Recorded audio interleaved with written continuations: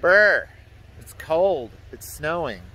That's where we're going to have lunch and birthday cocktails at. Look at the little red Mercedes in the snow. It's cool. It's snowing. How much? So, we've got eh, probably three or four inches. The car gets around pretty good considering, I don't know if it's all-wheel drive or not, but it's just a base little Mercedes. What it is. What is it? Oh, it's an A. An A220. So, it's not bad.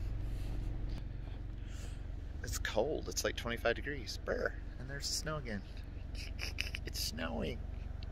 Cool birthday trip. See ya.